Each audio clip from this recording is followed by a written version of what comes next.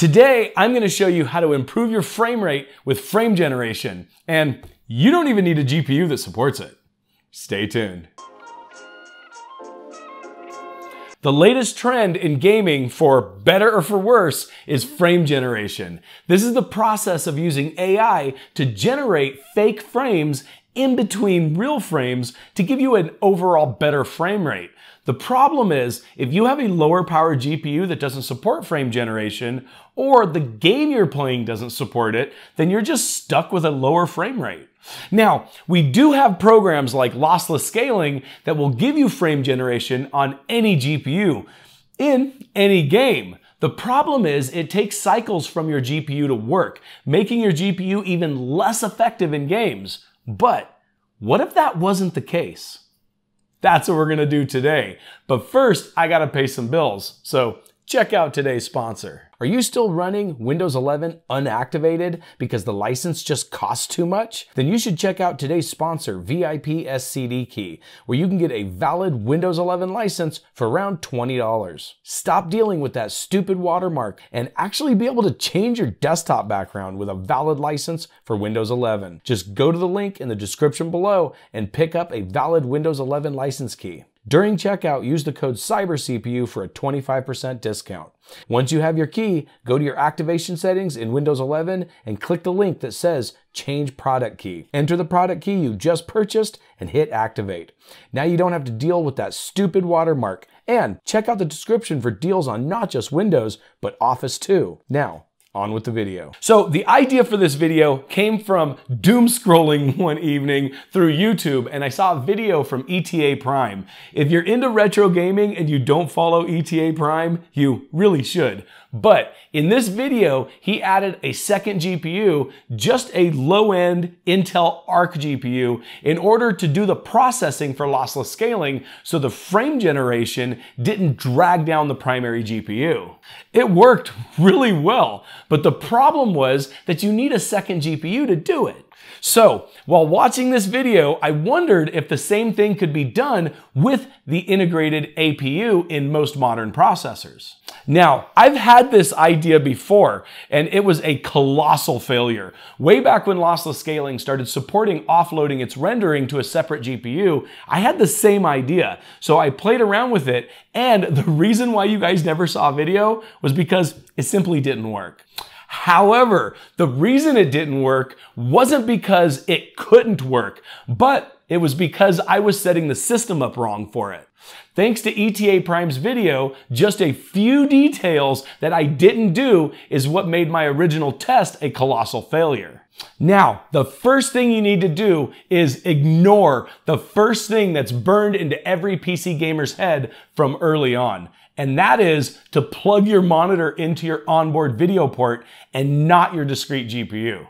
And it turns out that this right here is the reason my initial tests were a failure.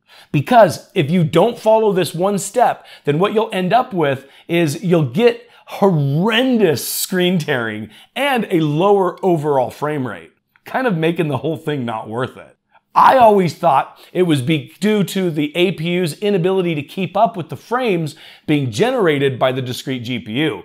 But it turns out it had nothing to do with that. In fact, I wish I could give you a detailed explanation for why this is the case, but I'm pretty sure it just has to do with the way Windows handles multiple GPUs and how lossless scaling interacts with those GPUs. So, for the first thing you need to do is to figure out how to boot your computer from your onboard video, even though you're using a discrete GPU.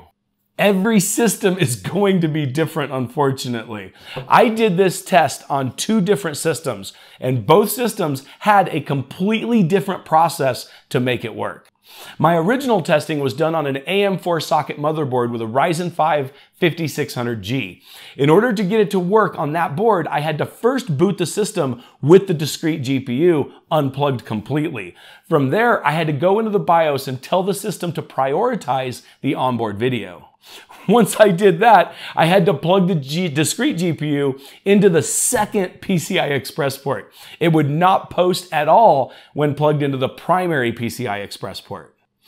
I'm not exactly sure why, but my theory is that the 5600G uses the primary PCI Express channel for the onboard video. This is also, it's possible that the 5600G that I was using was just a defective CPU because this particular CPU was pulled from a system that had issues. Because ultimately on that system, I was never able to get the discrete GPU to work in the primary PCI Express slot even with the APU disabled. It just wouldn't post at all. But I didn't spend a whole lot of time playing around with it because I really didn't care at the time. Because I ultimately moved my testing over to this system here, which is a Ryzen 5 7600 on an AM5 socket motherboard. And it didn't have that specific limitation. No, instead, it had completely new limitations that I had to overcome. The first one, just like before, you have to go into the BIOS and tell the system that you want to prioritize the onboard GPU instead of the discrete GPU. And once I set that, it booted fine with the onboard video. For a few minutes at least. Because in order to do screen capture on this system right here, for this video, I couldn't use OBS because OBS uses the same capture method as lossless scaling does. Therefore, I can't be screen capturing like I would typically. So I needed to use an HDMI screen cap screen recorder that I use kind of as a backup recorder on videos. But here's where the problem came in because after a few minutes, the onboard GPU would just turn off for no reason. The only way to get it back was to unplug the HDMI cable from the motherboard and plug it back in again. And it would give me a couple more minutes of video before it would just shut off again. Unfortunately, I was never able to solve that issue because luckily I found a workaround. That was simply to plug a DisplayPort connector onto the motherboard instead. And since I needed to route that through an HDMI capture device, I just used a DisplayPort to HDMI adapter. So I went through all of that just to tell you that getting this to work initially is going to be a major hassle. In fact, when I fired this system up this morning to start filming this video right now, it started crashing constantly using the DisplayPort. And I'm not sure why because I didn't do anything to fix it. It just stopped crashing. Maybe it needs to warm up like an old car. I don't know, but just trust me, it's going to be a hassle getting this to work. I promise you that. And unfortunately, I can't guide you through every step you need to go through in order to make it work because everyone's system is going to be different.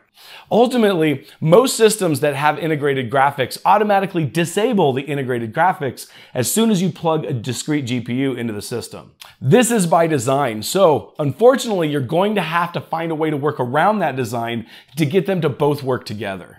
But with that said, once you have it working, it should work really well. Let's jump on the system and I'll show you what I mean.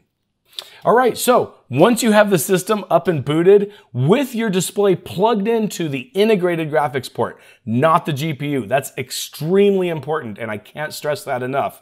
If you don't connect it that way, you're not going to experience the same benefit that I did. Trust me. But what you can do is you can actually right click right here, go to your task manager. You can go over to your performance tab right here, and you can see that we currently have two GPUs. We have the AMD Radeon graphics, which is the integrated graphics for the Ryzen 5 7600, as well as we have an NVIDIA RTX 3060. Now, what we're gonna need to do is first, we're gonna have to launch lossless scaling. Lossless scaling costs about seven bucks in the Steam store, and it's worth every dime. I highly recommend getting it. But once you have it, just go ahead and launch it through Steam. And at that point, you need to have this running in the background in order for it to work for whatever game. So once you get it started, just fire it up and then start whatever game you want. You don't want to actually set up the scaling now because it won't do anything until the game's running. So I'm going to go ahead and run Cyberpunk 2077 because that one will stress my GPU enough to make it worthwhile to actually do this demonstration. And once I get Cyberpunk fired up, I'll go ahead and jump back in. Okay, so here we are in Cyberpunk. As you can see on the top left-hand side, our GPU 2 is our discrete GPU and our GPU 1 is our integrated. And as you can see, we're not doing anything with our integrated. It kind of goes up a little bit here and there, but I think it's mostly just because the display is being used to display a picture, and that's essentially it. But if we play this right now, as you can see, we're sitting at about 50, maybe the low 50s. It kind of goes into the mid 50s occasionally. This, this is a really heavy game, so it does push this GPU hard. And so as you can see, it's really averaging right around 50 frames a second, which is fine for this. However, what we're gonna do is we're gonna go ahead and Alt Tab out so we can op open up lossless scaling. And from here, we're gonna scroll down and as you can see, it's currently set up to run on the RTX 3060. So I'm gonna go ahead and leave it at that. And then just kind of go over our frame generation settings here. We're using the LSFG, which is the lossless scaling's frame generation. 3.1, this is the newest one. We have it fixed and then we want to do a multiplier of two. So essentially what that's going to do is double our frame rate. And then for the flow scale, this is essentially the quality of the frames that it's creating. I usually sit at right around 60% is usually good.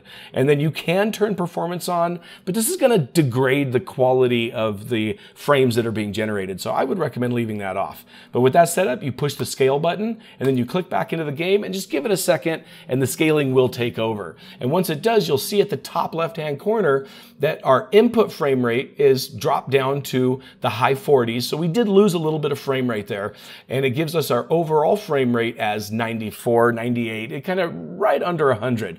But as we move around, as you'll see, we're kind of getting into the mid to low 40s in some cases. So we've lost potentially up to 10 frames a second by running lossless scaling on our discrete GPU. However, our overall frame rate is a lot higher at 95, so it is benefiting us. It's just not benefiting us as much as it could be. So what we're gonna do is we're gonna tab out open lossless scaling up again. We're gonna go ahead and push unscale. And then from here, we're gonna switch the preferred GPU from our RTX 3060 just to the integrated Radeon graphics. Then we're gonna push scale again, click back into the game. We're gonna give it a second to start scaling again. And just like before, you'll see that it'll start up in the top right there. So now as you can see, we haven't lost any of our base frame rate. We're still running at 53 at the low 50s. But as you can see from the GPU usage, we're using 100% of our integrated GPU and we're using 99% of our regular discrete GPU. Now, as we stop, it's not using as much because it doesn't need as much because it's not having to do anything because we're not moving around. But if we move around, you'll see that we're still sitting in the low 50s. We're using a good percentage of our discrete GPU. But what's better than that is, as you can see, we've gained not only the 10 frames a second that we lost from our base frame rate, but multiplied that by two, we're actually gaining about 20 frames a second in our overall frame rate. And this does a pretty good job of making the game look pretty good. Now, if I pulled an actual weapon out here, this is one of the downsides of lossless scaling, is the, the reticle in the middle, it can't really decide what happens to it sometimes. So as you move it around, you'll see that it gets a little crazy crazy. However, honestly, as this is a really obvious when you're just looking at it, when you're actually playing games, it's nowhere near as obvious as you'd think it was. But if you're looking at it and you're expecting it, then you definitely can see it. it, it it's, it's pretty obviously there. But we've doubled our frame rate and all we have to do is deal with kind of a funky reticle. Other than that, the graphics are actually pretty decent. And if we kind of go out right here, we can look at some of the more of the world right here. It looks really good. And we're getting a really solid frame rate by just using the integrated graphics instead of the GPU. So one of the reasons why I think this is such a cool option is because we all have tons of money invested into gaming systems and a lot of these gaming systems have integrated GPUs that just sit there and do nothing the entire life of the system. Now, granted, these APUs don't provide much gaming performance, and that's the reason why they're not used. But by simply using them for frame generation and leaving other, your other discrete GPU to push out as many frames as it can, it's like essentially getting free FPS. Of course, you're going to have to pay the $7 for lossless scaling, but considering what that program is capable of, it's worth every penny of $7. One of the only real downsides that I saw with this setup is that my screen capture device that I use to capture this video will only capture at 60 FPS. Because of that, the system only detects it as a 60 Hz monitor. Lossless scaling will only accept as an input FPS equal to or less than the monitor's refresh rate. That's why I did this demonstration in Cyberpunk, because it's one of the only games that I have that my system can't push over 60 FPS although just barely. It did hit 50, so that says something for it. Other games that I tried natively will run at over 100 FPS without a problem. Lossless scaling will only accept 60 FPS as an input and multiply that by 2 gives you 120 FPS. Many of those games were sitting at 120 before I even turned lossless scaling on in the first place. But if that's a problem for you, then you probably don't need lossless scaling to begin with. However, if you have a system that is capable of far more than 60 FPS and you're still running a monitor with a 60 Hz refresh rate, then you really should get a monitor with a faster refresh rate. And if you think that 60 FPS is enough because the human eye can't see more than 60 anyway, then you probably want to check out this video right here where I refute that myth. The human eye can see much more than 60 FPS. But as always, you guys have a great day.